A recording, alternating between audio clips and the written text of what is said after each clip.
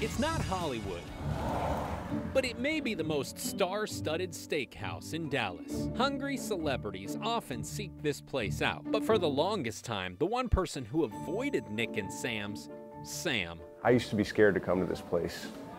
And the reason being is because Nick and Sam's is haunted. Haunted? How? So this used to be a funeral home. Owner Sam Romano says before it was a steakhouse, it essentially served as a morgue for Parkland Hospital. And if you ask anyone who's worked here, some people who came through those doors never left. Yeah, everybody's seen something. Every, everybody has a story. Executive Chef John Kleifkin says one day at 4:30 a.m., the entire building was locked. No way for anyone to get in. And yet, when John looked up, clear as day, a man is looking through this window at us and Yeah, quick question, is that the ghost you saw?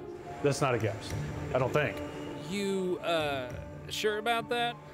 Yeah, he works there.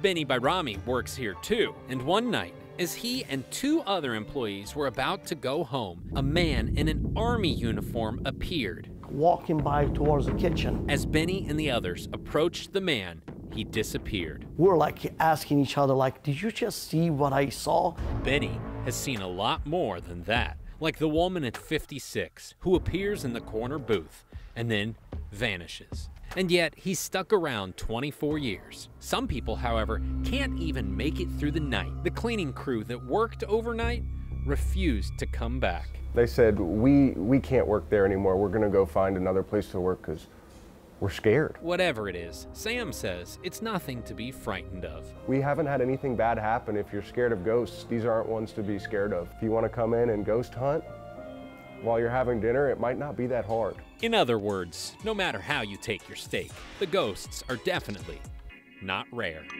In Dallas, I'm Sean Giggy.